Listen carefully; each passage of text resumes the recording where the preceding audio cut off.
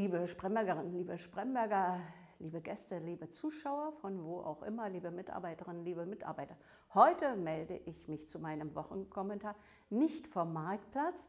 Das war aber wohl doch eine besondere Wochenbotschaft oder ein besonderer Wochenkommentar, weil so oft wie noch nie wurde dieses Video angeklickt. Das merke ich mir.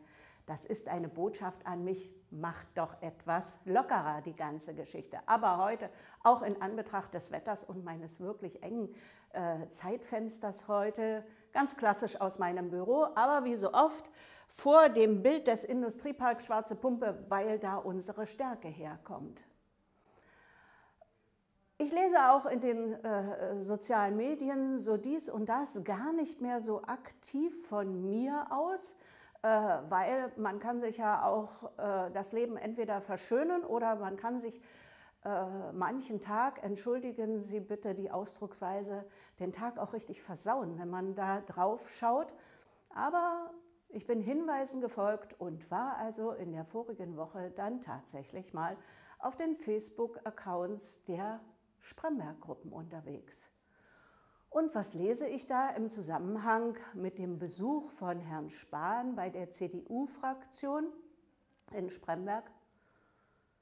Eigentlich Unglaubliches. Ich will das hier gar nicht werten, wer welche Meinung dazu hat. Aber liebe Leute, ich bitte euch, um was geht es uns und um was geht es auch mir? Es geht um Spremberg.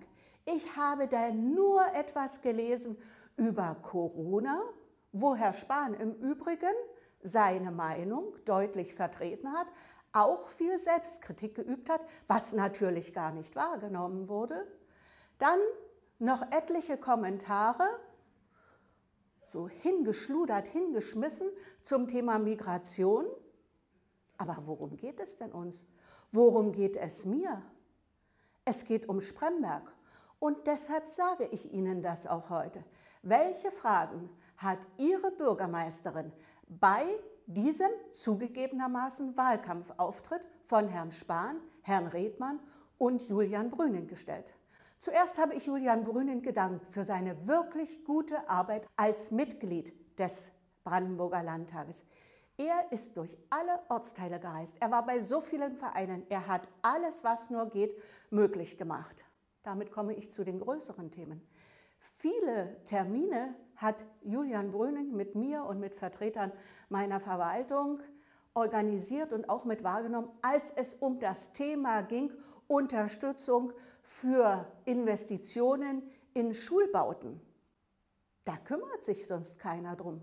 Deshalb war meine Frage an Jan Redmann, der ja auftritt und sagt, er will unser Ministerpräsident werden.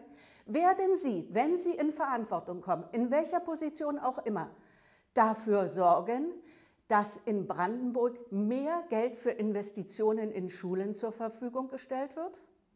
Und was habe ich Herrn Spahn gefragt?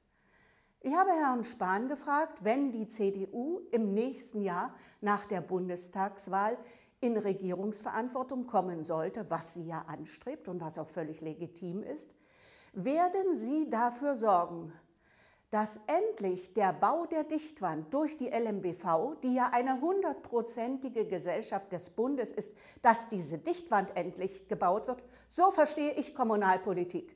Und nicht irgendwelche Themen von irgendwo aufgreifen, denn es geht um uns, um Spremberg. So kennen Sie mich, Ihre Bürgermeisterin. Ich wünsche Ihnen eine schöne Woche.